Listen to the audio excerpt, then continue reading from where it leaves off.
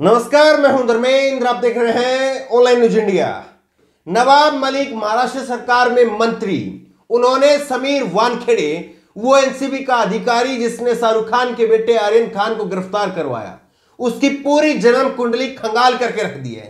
पूरी जन्म कुंडली, पूरा कच्चा चिट्ठा लोगों के सामने डाल दिया है। एक चिट्ठी उन्होंने आज रिलीज़ की और इस चिट्ठी के अंदर उन्होंने 26 आरोप लगाए हैं। लेकिन 26 आरोप में किस तरह से मुसलमानों को नंबर वन पर टारगेट किया है? करीब तिहत्तर फ़ीसदी मुसलमान जो है, वो इसमें टारगेट में थे समीर वानखेड़े के। बेहद दिलचस्प खुलासा हुआ है। ये आपको बताएँगे, उन्होंने, ये आप देखिए ट्वीट आप देखिए, नवाब मलिक का ट्वीट है। ये नौ बजकर के उनचास मिनट पर 26 अक्टूबर को पहला ट्वीट उन्होंने किया और इस ट्वीट में चार पन्ने की चिट्ठी उन्होंने इसका खुलासा किया। और सबसे बड़ी बात यह है कि सुबह उन्होंने ट्वीट किया था नौ उनचास पर 26 अक्टूबर को, और उसके बाद में शाम को चार बजकर के तेरह मिनट पर एक फिर से उन्होंने ट्वीट किया, और उन्होंने ट्वीट करते हुए कहा है कि मैं एनसीबी के डीजी को इस चिट्ठी को भेज रहा हूँ, एक जिम्मेदार नागरिक होने के नाते, ताकि आगे इसकी जाँच की जाए। अभी हम भी इस चिट्ठी की पुष्टि नहीं कर सकते हैं। नवाब मलिक, महाराष्ट्र सरकार के मंत्री ने चिट्ठी बताई है, ये खुलासा किया है, उनके आधार पर हम एक खबर आपको बता रहे हैं।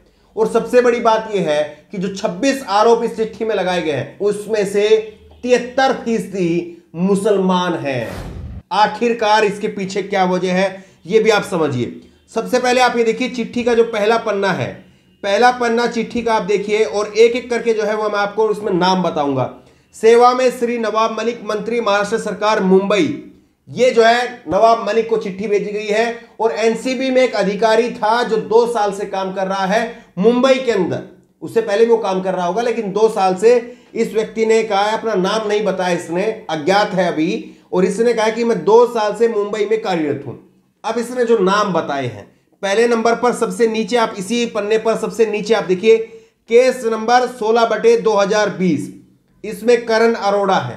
करण अरोड़ा है एक हिंदू नाम आप समझ लीजिए, इसके साथ में जो है, वो अब्बास लखानी है और इसमें कुछ मुस्लिम नाम इसमें भी हैं। लेकिन ये 26 नाम में से मोटे तौर पर अगर आप देखेंगे तो इसमें दो केवल नाइजीरियन हैं, दो हिंदू हैं, एक ईसाई है और दो अज्ञात है। 26 में से 19 नाम जो है, वो मुसलमान है। मुस्लिम नाम है और उनको जो है, वो टारगेट करके फंसाया गया। ये इस चिट्ठी में बड़ा आरोप लगाया गया। ये दू, दूसरे नंबर पर आप नाम देखिए। एक एक करके मैं जो है वो आपको परदर पर इसमें जो नाम दिए गए हैं वो आपको बता रहा हूँ। डिटेल में अगर मैं आपको बताऊँगा तो बहुत लंबा समय लग जाएगा। डिटेल के लिए आप अपने फ़ोन के स्क्रीन को पोज करके वीडियो को पोज करके वीडियो को रोक करके आप आराम से ये पूरी चिट्ठी पढ़ सकते हैं। एक एक करके मैं आपको शॉर्ट डिटेल में इसका नाम बता रहा हूँ। केस नंबर दो तीन बटे 2021 इसमें समीर खान है। समीर खान को झूठे केस में अरेस्ट किया गया 200 किलोग्राम तमाकू को गांजा करके दिखाया गया। ये सब कुछ जो है खेल चल रहा था कि उसके पास में तमाकू था, उसको गांजा करके बता दिया। ये तीन बटे 2021 उसने केस के नाम दिए हैं और जिसको फंसाया गया है, उसका नाम भी दिया गया है। मुस्लिम है, ज़्यादातर मुस्लिम है। 19 नाम जो है वो सामने आ रहे हैं 26 में से। तीसरा केस आप देखिए, तीसरे नंबर पर। केस नंबर छह बटे दो हज़ार इक्कीस मोहम्मद नजीम खान के घर पर आशीष रंजन ने, आईओ ने इकसठ ग्राम मेफड्रोन को, एमडी को रख करके उसे झूठा केस बनाया और उसको जेल में डाल दिया। ये देख लीजिए आप। चौथे नंबर पर 9 बटे 2021 मोहम्मद बिलाल को 136 ग्राम एमडी रख करके झूठा केस बनाया और उसे जेल में डाल दिया।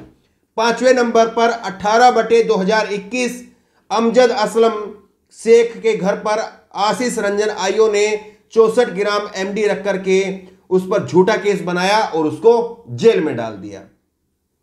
केस नंबर 24 बटे 2021 छठे नंबर पर है ये। शाहबाद बटला के घर पर सिपाही पीडी मोरे ने समीर के कहने पर ड्रग्स प्लायर आदिल उस्मानी से 60 ग्राम एमडी रख करके उसे झूठा केस बनाया और उसको जेल में डाल दिया। एक ही पैटर्न है। कि थोड़ा सा एमडी जो है, वो किसी के घर पर रखो 50 ग्राम 20 ग्राम 30 ग्राम 60 ग्राम, और उस पर केस बनाओ, केस बना करके उसको जेल में डाल दो। वो पूरी उम्र भर उसका परिवार, उसके रिश्तेदार कभी साबित नहीं कर पाएँगे कि हमारा बच्चा ड्रग्स नहीं लेता था। हमारा जो पति था, बेटा था, वो कभी वो साबित नहीं कर पाएँगे, किसी का भाई था, वो कभी साबित नहीं कर पाएँगे कि हाँ ये ड्रग्स केस में इन्वॉल्व नहीं था, ये गलत काम नहीं करता था। और सबसे बड़ी बात ये, नाम, ये मुसलमान क्यों हैं? ये सारे के सारे नाम मुसलमान क्यों हैं? ये आप देखिए, सातवें नंबर पर केस नंबर 27 बटे 2021 अब्दुल काबिर व नजिया शेख के घर पर बावन व चौवन ग्राम एमडी रख करके दोनों को जेल में डाल दिया। आठवें नंबर पर 28 बटे 2021 इमरान के घर पर आशीष रंजन आईओ ने सत्तावन ग्राम एमडी रख करके केस बनाया, जेल में डाल दिया। एक ही पैटर्न है सब में। नौवे नंबर पर आप ये देखिए उनतीस, केस नंबर उनतीस बटे 2021 केनिथ के घर पर 200 ग्राम एमडी रख करके उसको केस बनाया और उसको जेल में डाल दिया। ये ईसाई जो है वो नाम से समझ में आ रहे हैं। आप दसवें नंबर पर इसमें देखिए 30 बटे 2021 ये केस है और इसमें अंसारी समरुद्दीन के घर पर 55 ग्राम एमडी रख करके उस पर केस बनाया, जेल में डाल दिया। उसके बाद में ग्यारहवें नंबर पर केस नंबर 31 बटे 2021 चिकुड़ी पीटर, नाइजीरियन को 22 ग्राम कोकीन व 260 ग्राम चरस रख करके झूठा केस बनाया, जेल में डाल दिया। ये नाइजीरियन को भी नहीं बख्शा ये आप देखिए, बारहवें नंबर पर 32 बटे 2021 अब्दुल गफ्फार कुरैसी के घर पर बावन ग्राम एमडी रख करके झूठा केस बनाया और उसे जेल में डाल दिया। तेरहवें नंबर पर 33 बटे 2021 सोयन हैदर खान के घर पर 1.2 ग्राम एमडी और 17 बोटल्स एलएसडी रख करके उस पर झूठा केस बनाया। उसके घर से 17 लाख रुपए नगद मिले थे। एनसीबी की टीम ने समीर के कहने पर 9 लाख रुपए केस में दिखाए, बाकी आपस में बांट लिए। ना केवल जो है उसको फंसाया, उसको जेल में डाला, ये जो है सोयन हैदर खान है। केस नंबर है तैतीस बटे दो हज़ार इक्कीस। तेरहवें नंबर पर इसकी डिटेल है। उसके घर से सत्रह लाख रुपए जो है, वो भी लूट लिए और सत्रह लाख में से नौ लाख रुपए जो है, केस में दिखा दिए और बाकी के आठ लाख रुपए जो है आपस में बांट लिए। ये देखिए किस तरह से सब कुछ हो रहा है। चौदहवें नंबर पर आप देखिए, केस नंबर चालीस बटे दो हज़ार इक्कीस, समीर सुलेमान सना, सरफा कुरैसी को आशीष रंजन आईओ ने विश्वजीत विश्व विश्व विजय सिंह सुप्रिटेंडेंट के कहने पर इनके घर पर जो है वो पचास ग्राम व 60 ग्राम एमडी रख करके झूठा केस बनाया और इन्हें भी जेल में डाल दिया। इनके घर से 25 लाख रुपए सोने के आभूषण गायब किए। कंप्लेंट होने पर समीर ने मामला रफा दफ़ा कर दिया। आप ये बताइए कि समीर सुलेमान है। समीर सुलेमान का केस है 40 बटे 2021 और एनसीबी को खुलासा करना चाहिए कि हाँ 40 बटे 2021 में समीर सुलेमान का केस दर्ज है या नहीं है। ये केस का नंबर होता है। और सबसे बड़ी बात यह कि इसको ना केवल फंसाया, जेल में डाल दिया, बल्कि इसके घर से 25 लाख रुपए और गहने जो है, उस पर हाथ साफ़ कर लिया, कंप्लेंट हुई, शिकायत हुई, उसके बाद में मामला रफा दफ़ा कर दिया। सोच रहे हैं आप? आपको जेल में भी डालेंगे, आपके परिवार को फंसाएँगे भी, बदनाम भी करेंगे और आपके घर को लूट भी लेंगे। ये कौन सा तंत्र चल रहा है? ये कोई पुलिस अधिकारी का काम नहीं है।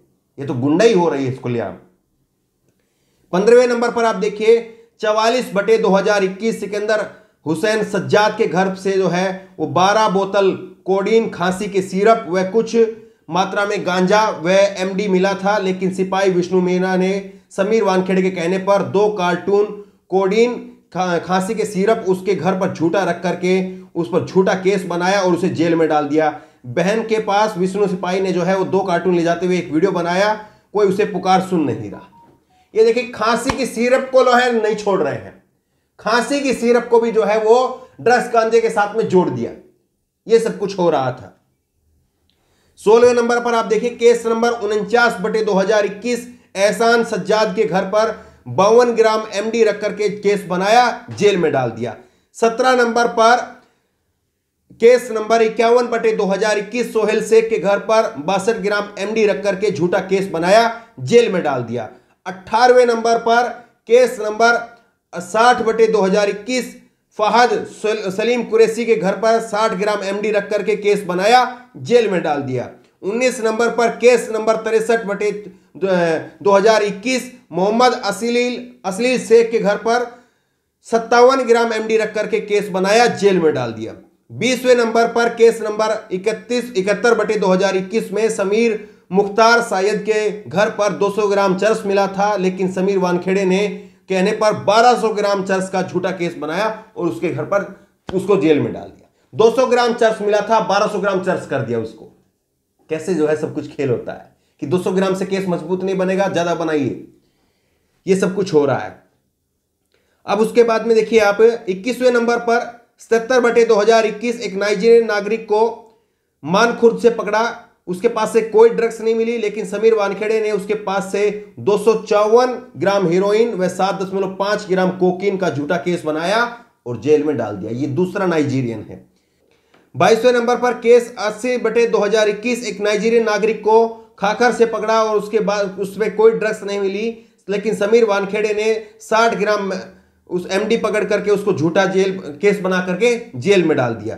तेईसवें नंबर पर अठासी बटे 2021 एक मुजरिम को पकड़ा और उसे जेल में डाल दिया।